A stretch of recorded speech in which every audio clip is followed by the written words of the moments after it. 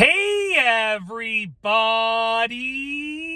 I'm here today to show you and tell you how to stop itchy feet. I'll be going over the easiest methods to stop your itchy feet and get rid of that itching, scratchy feeling. Let's get right into the video. I know that this isn't my foot, this is my shoe, but I'm gonna be using this for demonstration.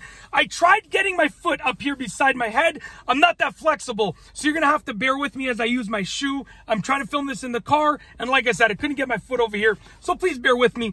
I used to have itchy feet, and these are some of the things that I did to get rid of my itchy feet, and hopefully they can work for you as well. Number one, clean your feet thoroughly with soap and water and scrub your feet with the soap. You see, when you clean your feet, you're getting rid of anything excess on the feet.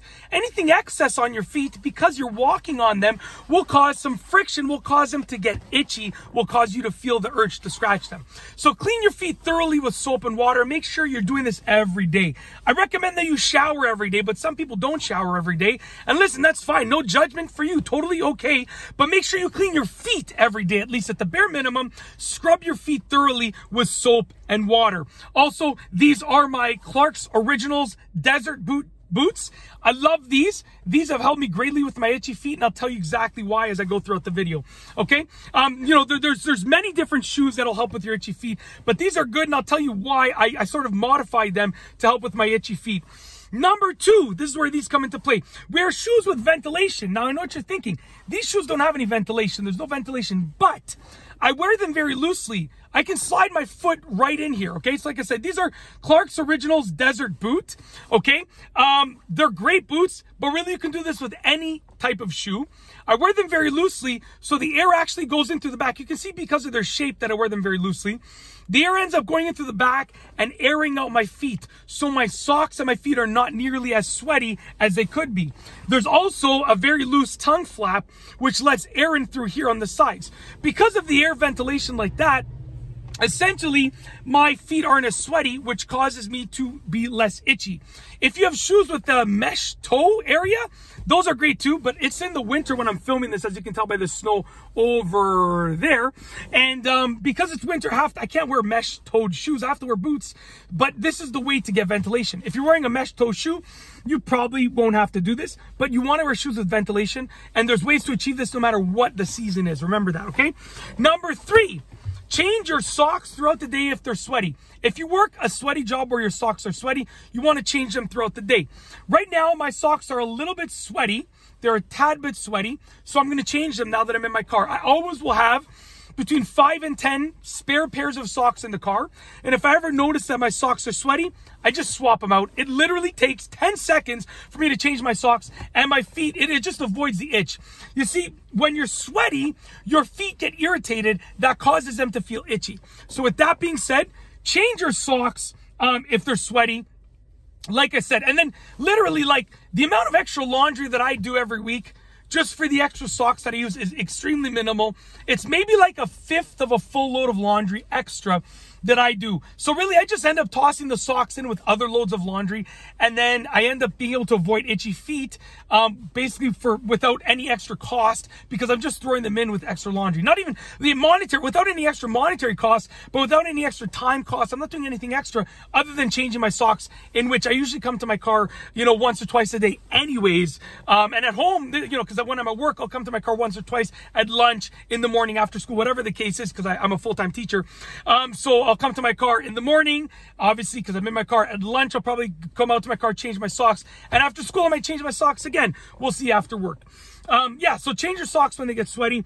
Number four, this went on a little bit too long, um, just because I thought it would be a fast video. So I'm to speed it up. Number four, dry your feet before putting on each new pair of socks.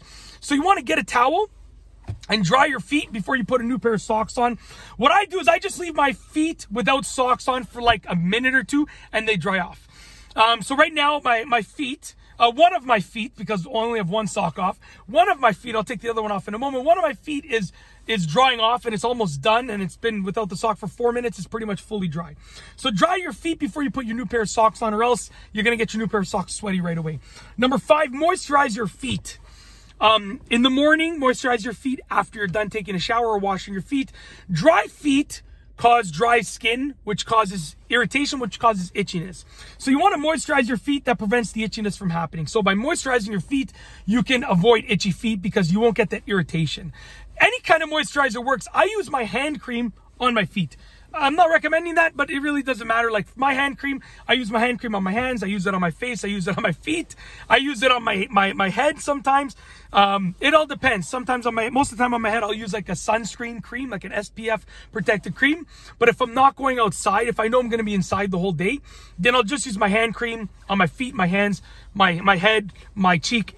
You know, that's my choice, but use some sort of cream on your feet. Okay oh, it's, it's getting hot in here now. It's winter, but the sun is just is just heating it up in here. I gotta gotta finish this video and get out there into the chilliness before my feet start sweating again.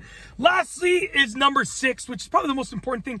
Look for a potential underlying reason why uh, your feet are itchy. Sometimes your feet are itchy because you haven't addressed the things that I said. Your feet might be dirty. They might have dry skin. You might be wearing sweaty socks. That's normal. But if you did everything that I said and your feet are still itchy, then there might be another reason why they're itchy, right? You might have like a chronic condition of dry skin. There are there are many reasons. I'm not going to go into all the potential reasons because there are probably thousands. But if you've done what I said and it fixes your problem, then it's probably just because you needed to dry your feet, put on new socks, uh, ventilate your shoes, moisturize your feet, scrub your feet with soap every day. Those are basically the five previous reasons. If those don't fix the problem, then there might be another reason, which is the sixth way, which is look into it if there's another reason. You want to just do your own research, uh, go speak to a medical professional and see if there's maybe another way. Go speak to someone who knows their stuff about feet, um, a medical person that knows their stuff about feet and see if there might be another reason why your feet are still itchy even after trying all these things. That's it.